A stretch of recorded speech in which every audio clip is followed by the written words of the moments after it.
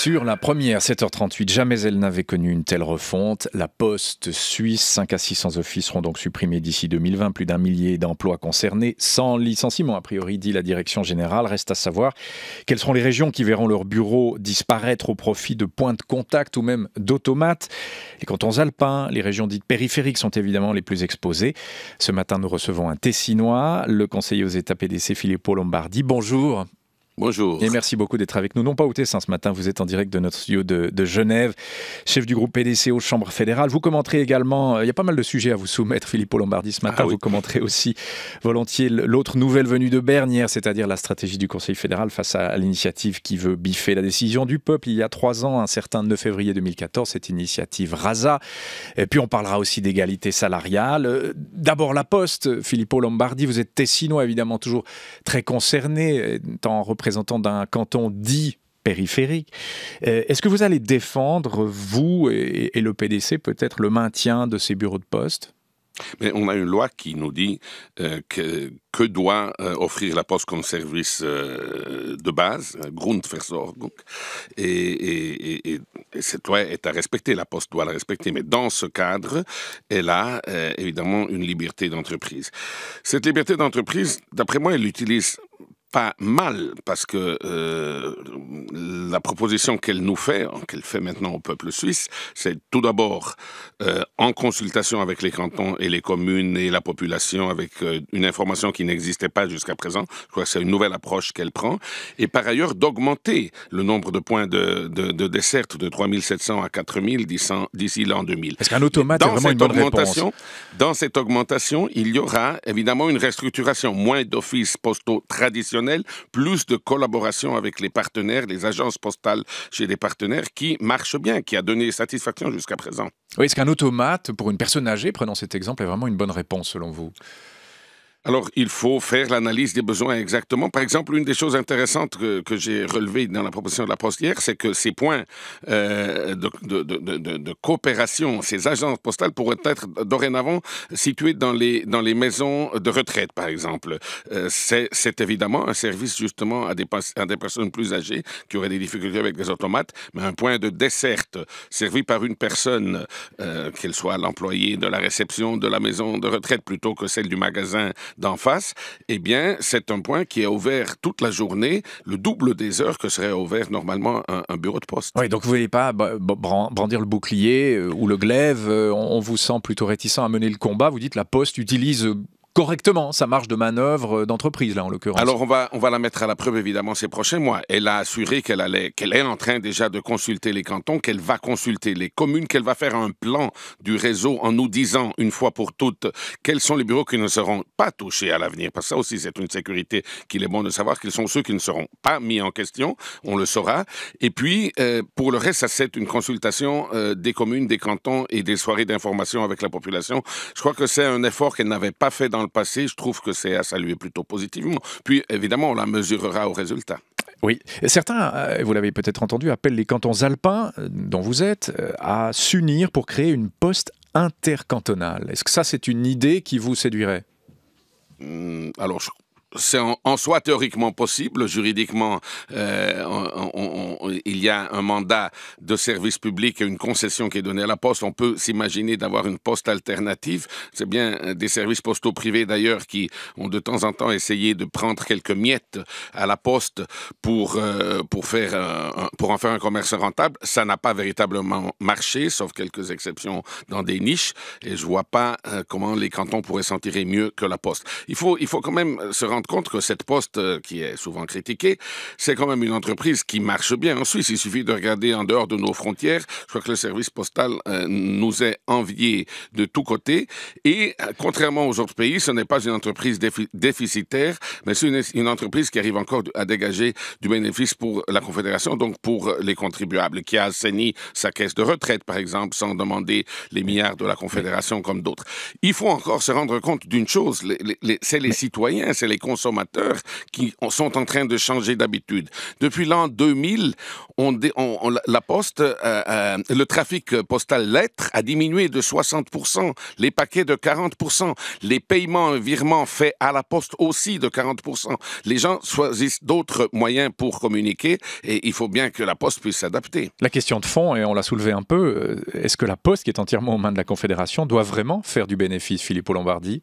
Alors, euh, ça, ça, se discute, mais une entreprise saine, même si elle appartient à la Confédération, se doit de faire du bénéfice pour pouvoir réinvestir dans sa restructuration, ses renouvellements, pour être toujours euh, à la page. Moi, je trouve que, justement, bon, je suis peut-être un peu marqué parce que si je passe la frontière, moi, j'arrive euh, en Italie et je peux vous dire que le service postal, c'est alors, ça non seulement la poste italienne fait des pertes terrifiantes, mais le service est en dessous de tout. Donc, je crois qu'on a l'intérêt à avoir une poste qui fonctionne bien en Suisse qui fait des bénéfices. Qui arrive à faire des bénéfices. J'ai dit, elle a assaini des centaines de millions euh, par année sa, caisse de, retraite et euh, elle réussit à réinvestir dans son renouvellement. Alors, l'autre gros sujet du jour, euh, du jour, de l'année, voire même d'un peu plus, c'est, c'est Raza. Hein. le Conseil fédéral, Philippe Lombardi, a rejeté hier cette initiative qui veut biffer l'article constitutionnel sur l'immigration de masse, accepté il y a bientôt trois ans par le peuple suisse. Il va proposer, le Conseil fédéral, un contre-projet dont la teneur reste à définir. On ne connaît rien de ce contre contre-projet à Arasa. Pour vous,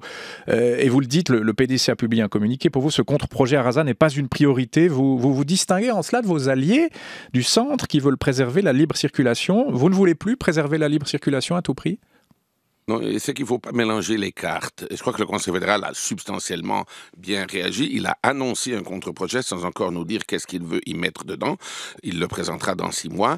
Euh, le Parlement aura loisir d'en discuter. C'est un autre débat. Nous avons un résultat, le résultat d'une votation populaire du 9 février 2014 qui est à mettre en œuvre d'ici le 9 février 2017. C'est ça qu'on est en train Est-ce que c'est vraiment un débat C'est celui de la libre circulation, au fond. Oui, d'accord, mais euh, il y a eu un vote populaire, il faut le respecter c'est la volonté, en tout cas, de notre parti. Et on essaie de le faire sans faire trop de mal à cette libre circulation. C'est bien ce qu'on a fait euh, au Conseil national, qu'on va encore faire au Conseil des États. On sera plus ou moins sur la même ligne avec des nuances. Mais on va appliquer cet article sans euh, violer, à notre avis, euh, l'accord sur la libre circulation. Maintenant, si on veut remettre en discussion l'article 121A de la Constitution, eh bien, le peuple se prononcera d'ici quelques années. Mm. Mais entre-temps, il faut appliquer ce qu'on a accepté en 2014 je cite le communiqué du PDC. Nous restons persuadés de la nécessité d'une clause de sauvegarde pour la mise en œuvre. Filippo Lombardi, j'ai envie de vous demander, mais qu'est-ce qui s'est passé avec le PDC euh, Vous étiez à côté du PBD il y a quelque temps qui voulait inscrire dans la Constitution les accords bilatéraux. Maintenant, vous défendez becs et ongles, et vous le faites encore ce matin, l'application de l'initiative du 9 février 2014. Vous, vous êtes un peu en train de vous ranger aux côtés de l'UDC, là, pragmatiquement. Écoutez, on a toujours dit que, et dès le 14, euh, dès le 9 février 2014, on a dit, mais il y a une décision populaire, elle ne nous plaît pas, c'est pas ce qu'on avait soutenu, mais il faut l'appliquer. Je crois que c'est une question de, de, juste euh, application des, des, principes d'un État de droit et d'une démocratie directe telle que la Suisse le connaît. Ça, on a toujours dit. Maintenant, on essaie de l'appliquer euh, en donnant le maximum de garanties aux aux, indigènes, comme on appelle, c'est une jolie formule, aux, travailleurs indigènes sur le marché du travail, c'est ça l'idée de la clause de, sauvegarde, sans euh, blesser, sans, sans, violer l'accord de libre circulation. On va y arriver, on va pas arriver, je sais pas. Moi, j'ai l'impression que oui, mais ce travail doit être terminé d'ici la fin de l'année. Donc, à la session d'hiver des chambres fédérales, il faut conclure ce travail, puisque le peuple nous a dit, vous le faites en trois ans. Après, rien n'interdit d'être plus malin et de se dire, on va réécrire cet article 121A. Paris risqué, euh, Philippe Lombardi, Paris risqué quand même, ouais. Pourquoi Paris risqué? Bah, si, Est-ce que vous êtes prêt à renoncer à la libre circulation si la, la Suisse ne parvient pas à convaincre Bruxelles, par exemple, d'ici quelques mois? Oui, mais mince, euh, c'est pas à nous de convaincre Bruxelles. C'est Bruxelles qui devra éventuellement faire la preuve que nous avons violé cet accord. Nous avons voté, nous les Suisses. Nous les Suisses.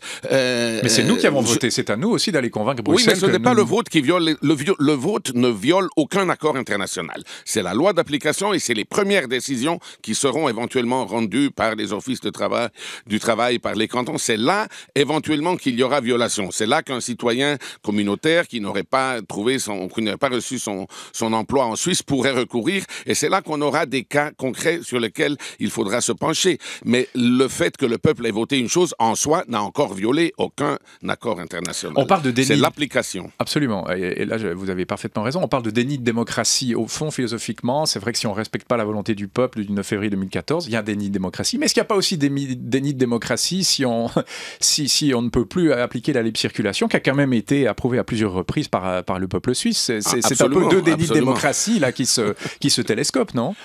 Absolument. Euh, c'est d'ailleurs ce que je réponds à mes collègues UDC je, euh, ou, de la Ligue. Vous, pouvez imaginer qu'au Tessin, mon discours, euh, il, est, il est plutôt critiqué d'un autre, d'un autre côté. C'est ce que je réponds aux, aux, aux, FANA du 9 février. Écoutez, le peuple a quand même aussi voté plusieurs fois sur la libre circulation. Il l'a accepté même avec des majorités plus amples que l'initiative contre, contre l'immigration de masse. Il faut tenir compte de ça aussi. Et c'est bien la tâche du Parlement face nous n'avons pas une Cour constitutionnelle qui va dire quelle est la juste décision, quelle est la décision qui prime. Donc c'est au, Parlement, c'est au Parlement de faire la pesée des intérêts entre ce que le peuple a voté quand il a accepté la libre circulation et ce que le peuple a voulu dire en acceptant l'initiative du 9 février. Le Parlement doit faire cette pesée des intérêts, c'est ce qu'il est en train de faire au niveau de la loi d'application. Est-ce que Raza permettrait pas justement, vous dites que c'est pas une priorité, de, clarifier tout ça Ce serait plus honnête que l'espèce d'un broglio actuel euh, où, où, tout le monde essaie de trouver une solution est-ce qu'au fond, Raza, ce serait pas euh, ben, ça permettrait pas de clarifier les choses une fois pour oui, Oui, on, rase gratis, mais c'est pour demain. Alors, Raza, euh, on, risque, on risque de se, comment dire, de, de, se mettre le, le, doigt dans l'œil assez, assez lourdement, parce que si le peuple, et j'ai l'impression que le peuple ne goûte pas cette espèce de remise en question d'une décision qu'il a prise, c'est la première fois qu'on fait dans l'histoire de la Confédération. Mais il est très attaché à la libre circulation, on entendait encore les sondages. Hein. Euh, d'accord. Mais si vous allez refaire voter le peuple sur le même texte, en disant tu as mal voté, maintenant tu vas corriger ça, tu vas corriger ta copie. Moi, j'ai assez euh, peur, peut-être pas en Romandie, hein, mais dans le reste de la Suisse, en Suisse allemande et au Tessin, vous aurez plutôt une réaction négative parce que le peuple va dire on, on nous fait quand même pas revoter une deuxième fois sur une chose qu'on a décidée. Donc c'est très risqué. L'exercice Raza est très risqué. Maintenant, le Conseil fédéral, d'après moi, il a, il a choisi la voie du milieu. Il a dit pas de Raza, mais on va travailler sur un contre-projet, mais ça viendra après la mise en œuvre de euh, l'initiative du 9 février. Moi, ça, cette, euh, cette stratégie me va bien, mais je dis, en conséquence de quoi, le contre-projet n'est pas prioritaire aujourd'hui. Prioritaire, c'est ce qu'on va faire au mois de décembre, puisqu'on va terminer aux chambres la discussion sur euh, l'application du 9 février. Et après, dans un an, dans deux ans, on pourra voir s'il est nécessaire de modifier l'article Vous, vous, mettriez quoi dans ce contre-projet, a priori, vous? Il faudrait y mettre quoi? Alors, alors, la chose, il y a quelques professeurs de droit qui se sont exprimés là-dessus, je partage leur avis. Une chose qui très certainement me dérange dans l'article 121A, c'est pas l'article lui-même, c'est la disposition transitoire avec la date butoir des trois ans. Ça, je crois que c'était euh, faux, absolument, de mettre dans la Constitution un délai pour négocier avec un partenaire euh, c'est le, le B à bas de la tactique de négociation. On va pas commencer à discuter avec quelqu'un en lui disant Moi, je suis pressé, il faut qu'on décide d'ici là, sinon, sinon quoi? Eh bien, l'autre, il regarde et il attend. Et c'est ce, qui, ce que l'Union européenne a fait d'ailleurs avec la Suisse, en, n'ouvrant même pas les discussions pendant, pendant presque deux ans. Donc, pas de date butoir, Donc, pas de date butoir, très, très certainement. Je crois qu'il faudrait enlever les mots contingents parce que c'est le, le le, le, concept même de contingent qui heurte toute la philosophie de l'Union européenne. Et puis, euh, là-dessus, il faut ensuite travailler comment est-ce qu'on pourrait imaginer une clause de sauvegarde qui ne soit pas un contingent, mais un mécanisme euh, tel que le professeur Ambul nous a proposé, le canton du Tessin, puis la conférence des gouvernements cantonaux ont aussi soutenu, et c'est pour le moment encore euh, un petit peu fluide, mais on aurait le temps avec le contre-projet d'affiner ce mécanisme. Philippe Lombardi, quelques autres sujets d'importance. Euh, via la presse, la baisse du taux minimal de la prévoyance professionnelle de 1,25 à 1% salaire technique, mais ça ne, pas, ça ne l'est pas, c'est extrêmement concernant, décidée elle aussi par le Conseil fédéral, beaucoup d'actualités bernoises, ça relance le débat sur l'avenir du deuxième pilier, Valérie Drou. Oui, c'est à dire dans le temps, les organisations syndicales Travail Suisse et Union syndicale suisse réclament des compensations pour les futurs retraités via l'AVS, car cette baisse reflète la crise profonde que traverse le deuxième pilier. Du côté des institutions de prévoyance, on juge au contraire cette adaptation inévitable et prévisible, une décision justifiée. Pourtant, note le temps, la performance d'ensemble des caisses de pension n'est pas catastrophique jusqu'ici en 2016. Elle est proche de 3%.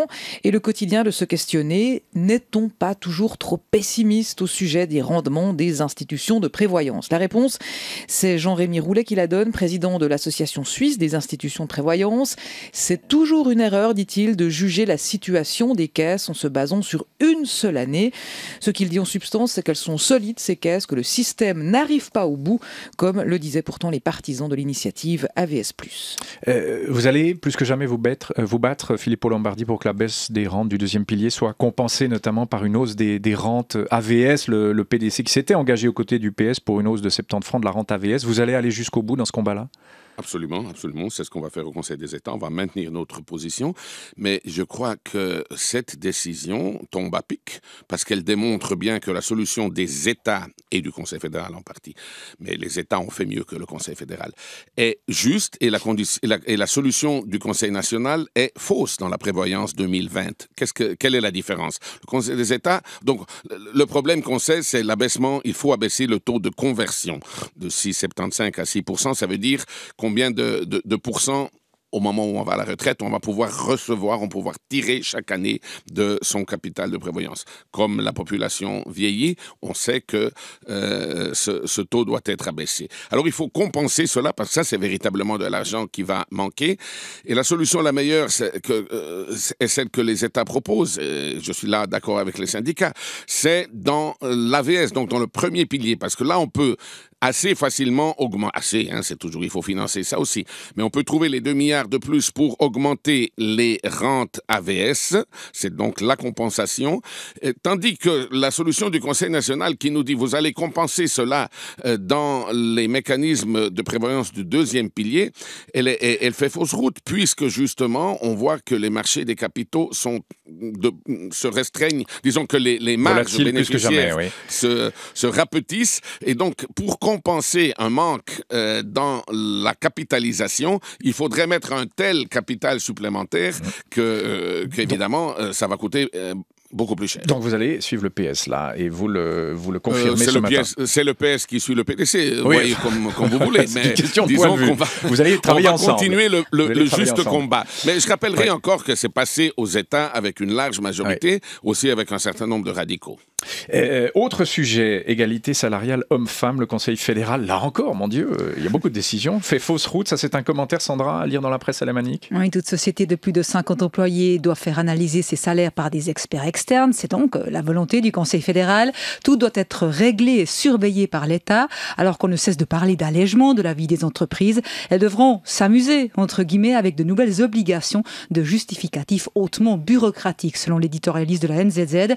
C'est un signal qui ne va pas favoriser les employés, mais nuire à la place suisse. Alors qu'une conseillère fédérale socialiste exige ce genre de choses, ça n'étonnera personne. Par contre, que dans un collège soi-disant bourgeois, une mesure aussi étatique trouve une majorité, ça, ça l'est.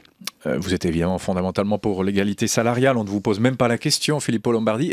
Convaincu par le projet là de Madame Somaruga euh, oui, mais je, je ferai remarquer qu'on a, un, on a un impératif constitutionnel là aussi, et on n'est pas en train de le respecter. Donc, il faut faire des pas concrets vers le respect que la Constitution nous impose. Ça va assez loin, ce projet, ou il faut aller plus loin encore pour Alors, les syndicats voulaient plus. Les syndicats voulaient plus, voulaient, voulaient, voulaient des, des, des amendes, voulaient une euh, sanction. Qu'on épingle les, tricheurs.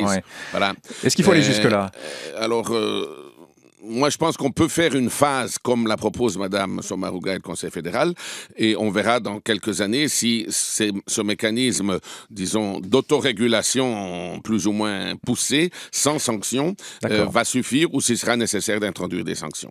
Alors, dernier sujet, euh, on en parlait hier matin sur cette antenne avec Ludovic Rocky qui a mené l'enquête, c'est la démission d'un procureur fédéral qui ravive la polémique autour du chef du ministère public de la Confédération, Valérie Drou, Michael Laubert.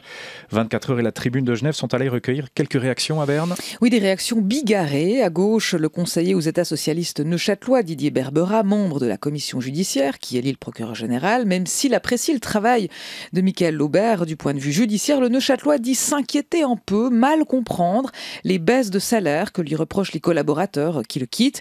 Il faut que la lumière soit faite rapidement sur ces bisbilles. Au PLR, son collègue de commission, le genevois Christian Lucher, pense qu'au contraire, le Parlement n'a aucune raison de prononcer des critiques à l'égard de M. Laubert. L'autorité de surveillance fait très bien son travail. Enfin, l'UDC genevois Yves Nideguer se situe entre les deux, disent les quotidiens. Il y a beaucoup de signaux d'alarme, mais laissons l'autorité de surveillance faire son œuvre et de rappeler, nous avons voté une réforme qui donne son indépendance au ministère public pour la gestion administrative. Eh bien, il en fait usage. Faut-il s'inquiéter ou plus s'alarmer de ce qui se passe au ministère public de la Confédération sous la houlette de M. Laubert euh, Le faites-vous, M. Lombardi je ne m'inquiète pas. Euh, je constate que euh, cette autorité, euh, tout, le système pénal fédéral peine à se mettre en, place. Ça fait des années qu'il y a des discussions, qu'il y a des critiques, qu'il y a des changements, qu'il y a des non-réélections de procureur général, etc. On a, vu tout ça. C'est pas habituel en Suisse. Hein. Mais donc je crois que le système peine à trouver exactement son équilibre. Il y a des enquêtes très, très lourdes qui se font, qui coûtent très certainement beaucoup aux contribuables c'est le système, c'est pas dû à un homme en fait, ce que vous Alors, mettez en, pas que en cause le système. le système n'a pas encore véritablement trouvé son équilibre. Il faut y travailler. Les institutions mettent, mettent, du temps. Euh, aussi l'institution du tribunal pénal fédéral et tout ce que cela a représenté. Euh, c'est un, un, euh, l'ouvrage n'est pas terminé. Voilà. Donc je m'inquiète pas pour l'homme, pour la personne, mais pour le travail qu'on doit encore faire, gouvernement et parlement, pour affiner ce système. Piste de réflexion intéressante. Merci Merci beaucoup d'avoir été notre invité en direct de Genève, Philippe Lombardi. Je vous en prie, bonne journée tout le monde. Excellente journée à vous.